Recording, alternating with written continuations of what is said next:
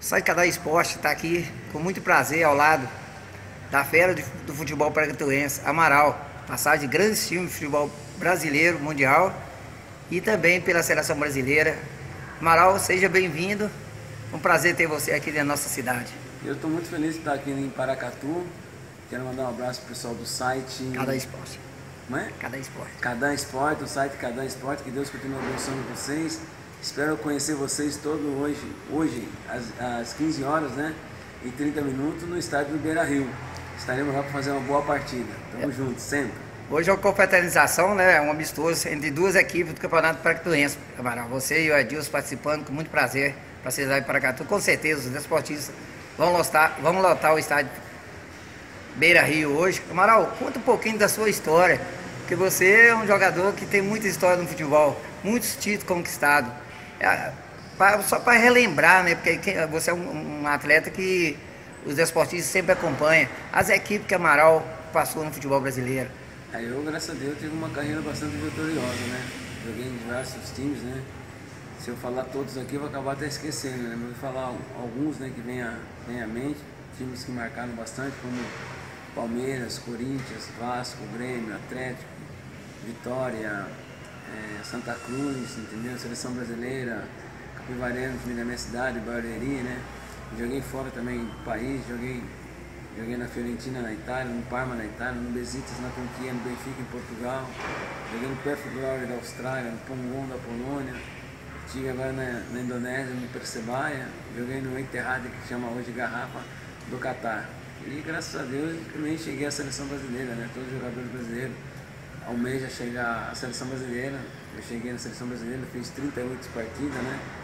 E graças a Deus fui muitas vezes campeões também, né? Tenho quatro títulos brasileiros, quatro paulistas, né? Tenho Rio São Paulo, campeão turco, campeão da Copa Itália, né? Tenho uma carreira, uma carreira brilhante, né? E desejo a todos vocês que estão começando agora, em primeiro lugar, é simplicidade, humildade, respeitar o professor, respeitar a mãe, respeitar o pai. E hoje a gente se encontra num, num momento no futebol que, que a gente vê, né, pai levando filho para jogar bola, mãe para levar leva filho para jogar bola. Porque antigamente a gente ia sozinho, né? Era mais difícil. Hoje vocês têm facilidade. Mas a única coisa que vocês têm que ter é simplicidade, humildade, respeitar sempre o próximo. Amaral, essa carreira brilhante que você já falou, e você é um jogador que foi marcado pelos títulos, né? Pela, pelo que você fez dentro do futebol brasileiro e mundial e também marcado por belas histórias, belas histórias do futebol.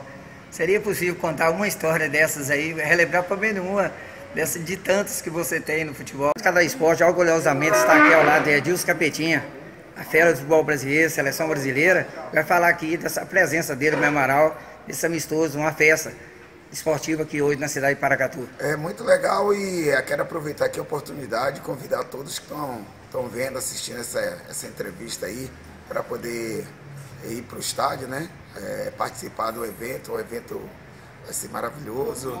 Vai ter o Amaral também aí, que um dos grandes, foi um dos grandes craques do futebol brasileiro. Então é legal a presença de todos vocês. Os meninos que estão fazendo o evento fizeram muito esforço para poder realizar esse evento e a presença de vocês é indispensável nesse momento. Então eu convido toda a galera de Paracatu para poder participar desse grande evento. Edilson, você, Amaral, fez parte da época de ouro do é, brasileiro. Um pouquinho, só um resumo, igual o Amaral já fez a lista dele ali, da sua carreira no futebol brasileiro.